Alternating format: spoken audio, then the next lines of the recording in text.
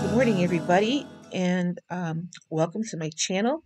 I want to start out by thanking Sandy over at Let's Get Fit with Sandy for inviting me to uh, be part of this collab along with some other really fantastic uh, weight loss YouTubers. So I'm really honored to be part of this collab. Let me tell you a little bit about myself if you are new to my channel. Uh, first of all, my name is Sue, and my channel is Sue Slims Down. I started Weight Watchers in earnest back on um, January 1st, 2016. And um, I was sort of up and down back then, went through some life changes in 2017 and 18 where um, I lost my husband to cancer and I lost my son to suicide. Uh, in April of 2018. Uh, and then I lost my house, my car, and everything basically that I owned. And I had to move cross country to live with my daughter uh, in Idaho. And I currently live in Ohio. And that's where I'm from, Ohio.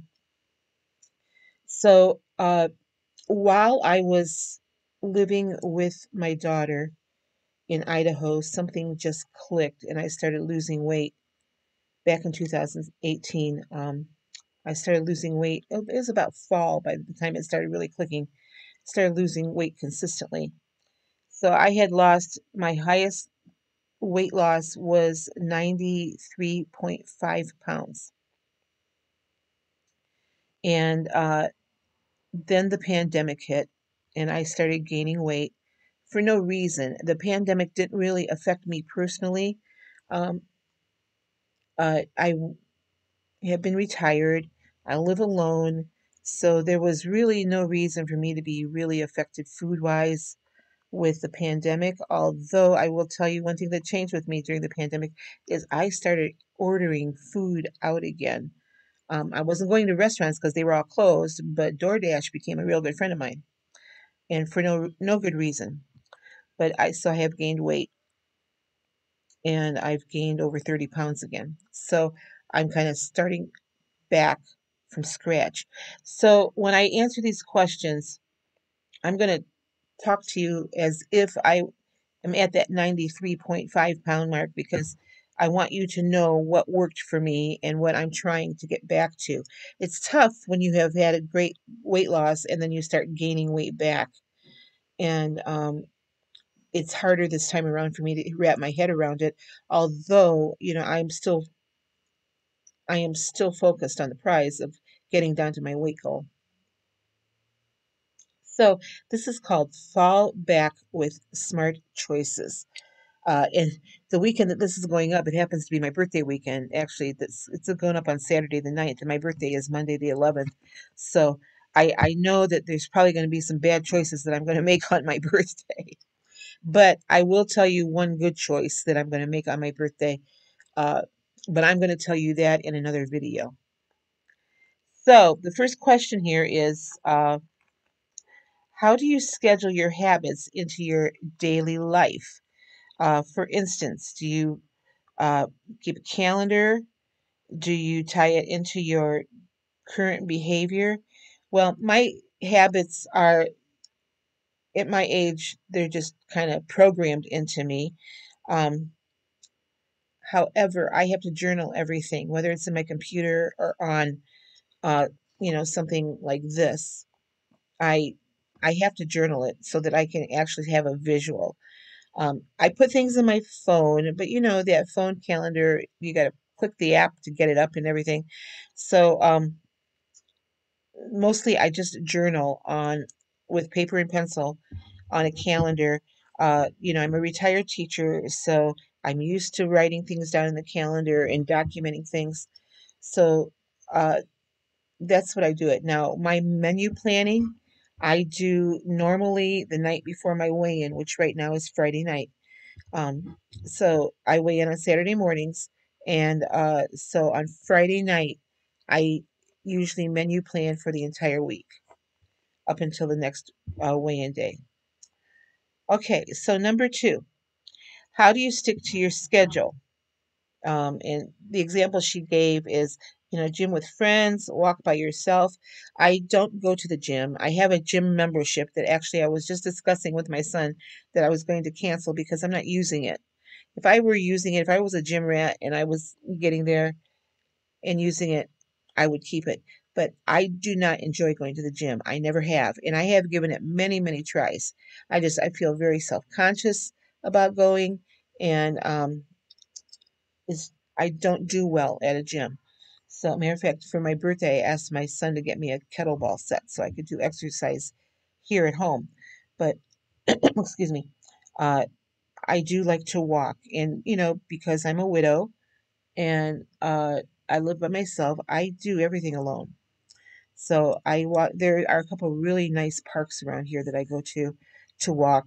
Uh, and my favorite time to walk is um, usually about five o'clock in the afternoon. And the reason I like to go at that time is because the parks aren't crowded. People are just getting home from work and they're, uh, you know, having their dinners and stuff. So a lot of times I have the places mostly to myself.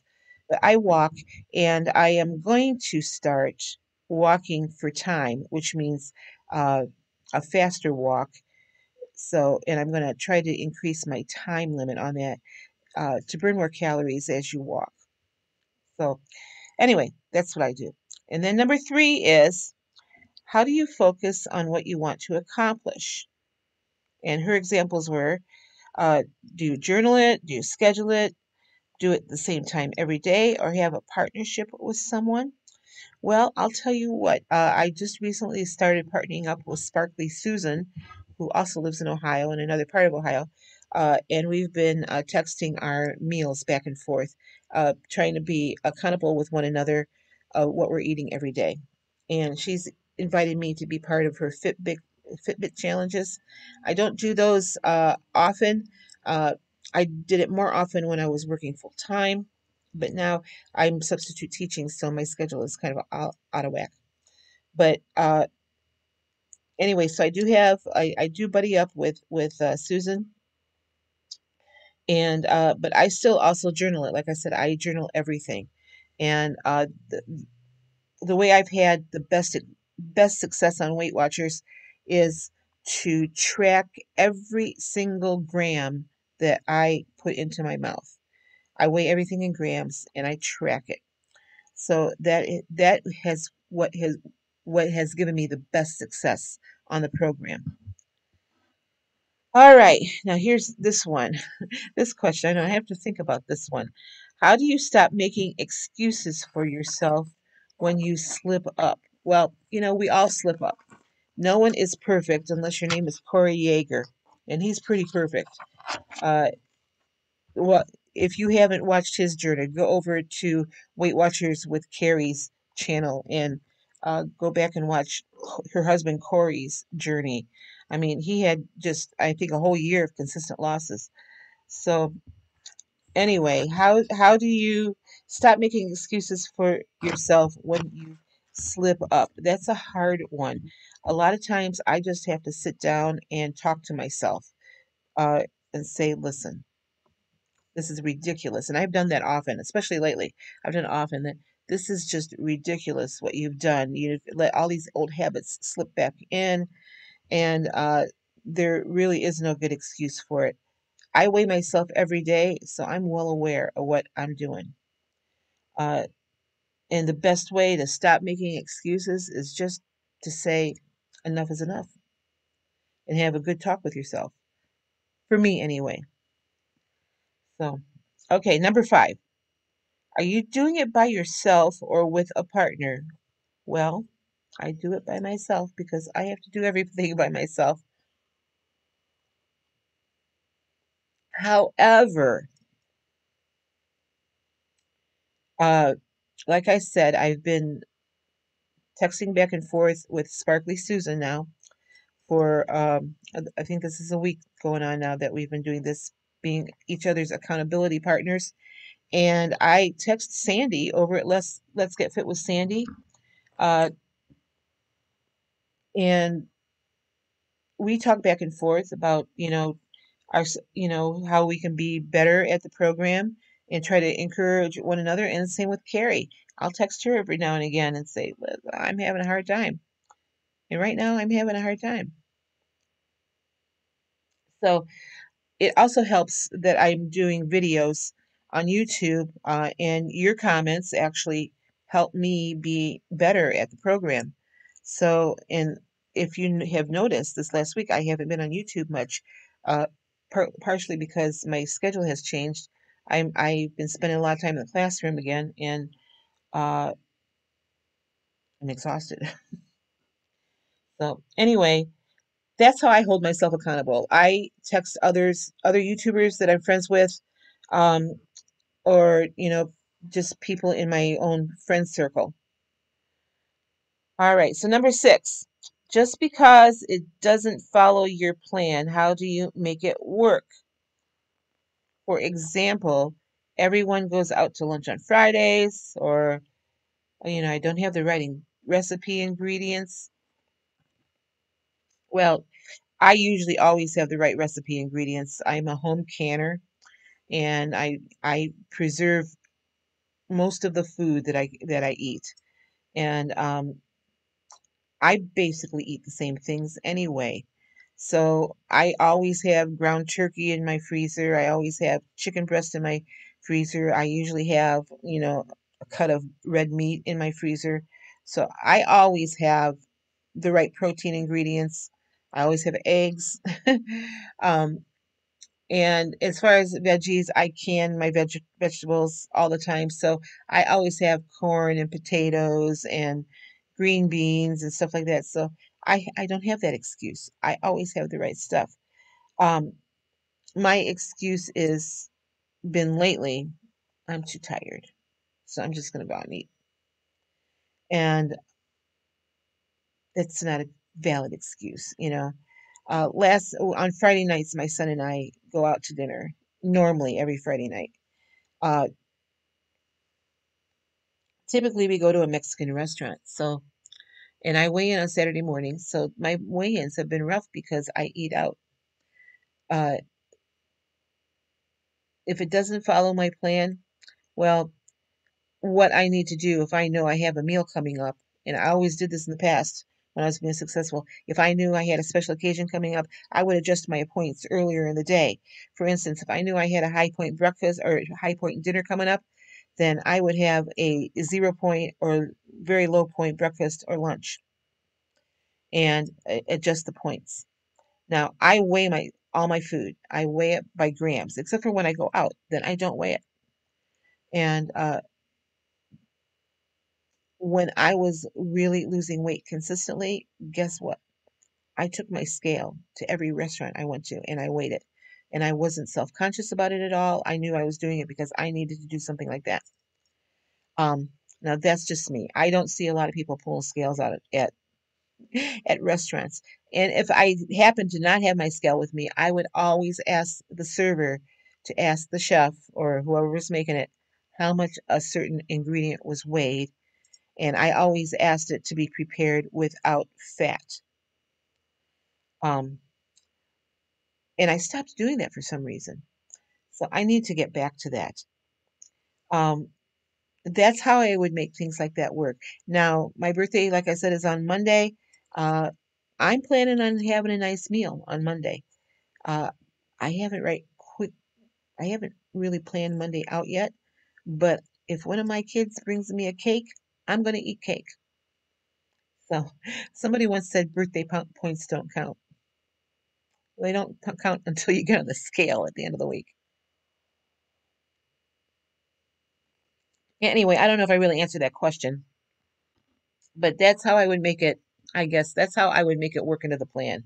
That if I knew I had something coming up, like a birthday dinner, then on on Monday, then on I guess my course of action on Monday is going to be very low point or no point breakfast and lunch.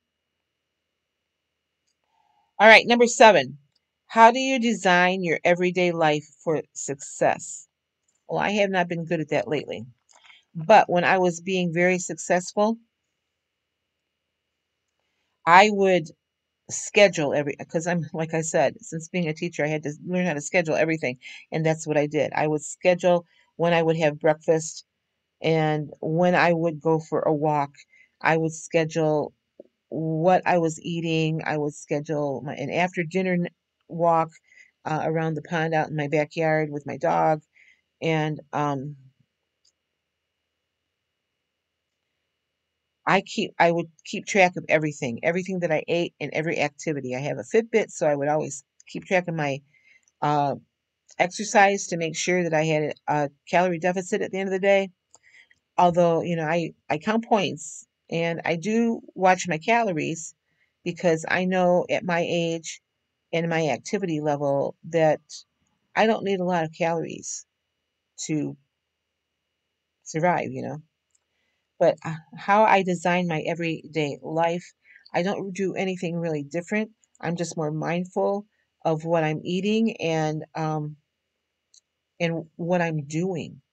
Uh, for instance, if I have been sitting down on my couch here watching TV, which I don't really do, um, unless there's a football game on, uh, I make sure that I'll get up during the commercials and you know walk and go do something quick, um, or I'll go outside during halftime and walk around the pond with Molly a couple times.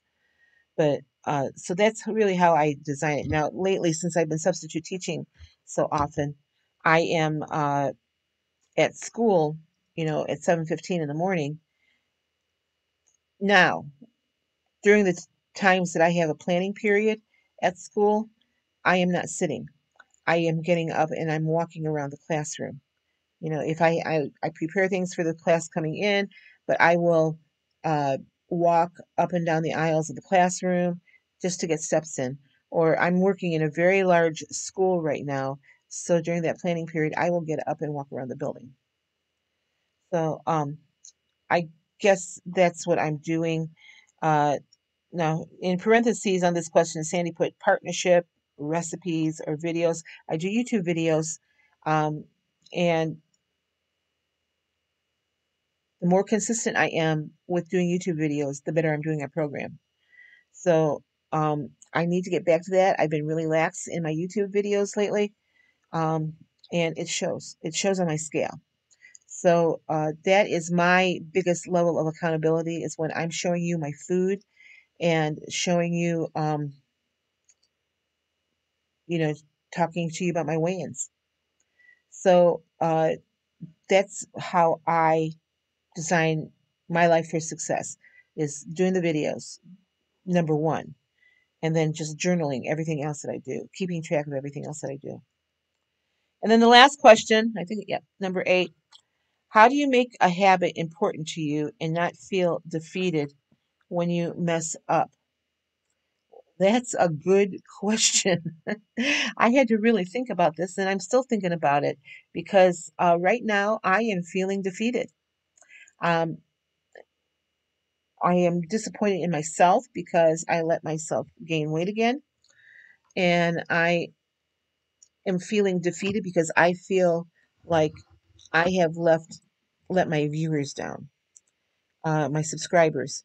I, you know, when I was losing weight really well, you guys were yay, yay, yay, yay, yay, and now I feel like I'm telling you the same thing. Was I had a bad day, you know. Uh, so I don't know that I don't think I've got that question figured out yet, Sandy, because uh, I am feeling defeated now. I, I feel like I've let everybody down, myself included. So uh, my concentration after my birthday is over with is to get back to some of these things I told you about earlier, is about weighing and measuring, which I, I do anyway, but being really, really diligent about it. And um, I have a sugar addiction, and I've let some of that sugar come back into my house that uh, I need to get rid of, and I need to get rid of it cold turkey. Uh, it's not one of those things where I'm going to wean myself off of it. I can't do that. It's like an, with me, sugar is like being an alcoholic. I can't even have one thing touch my lips. So, um, I guess that's what I have to do. I have to make myself important again, and I've let that go. Um, I don't know how else to explain that. But I do know that I have been in a season of being feeling very, very defeated, feeling like I've let everybody down and not sure that I can do this again. Now, deep in my heart, I know that's not true. I know that I have lost all that weight before, and I know that I can do it again. Um, I guess diet fatigue has set in with me, if that's a even a term. Uh, because I've been at this since 2016. I should have been at goal two or three years ago. And I'm not there yet. and it seems like every time I get get going really well and something really is clicking, Weight Watchers changes their program. And they have another change coming up. So I don't know. Maybe it'll be a good change. I don't know. But anyway, those are my answers to my, and I don't know that I answered any of them really well. But thanks again, Sandy, for inviting me to be part of this collab.